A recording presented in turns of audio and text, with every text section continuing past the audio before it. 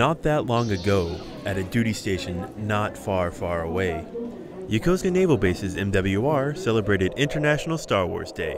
So today was MWR celebration of Star Wars Day. So we had May the 4th be with you. And we hosted a Padawan Training Academy. Um, we had selfie booths. And then we had a screening of The Force Awakens. The event was focused on the younger fans of the Star Wars universe, beginning with the children receiving training to become Jedi, the film's good guys.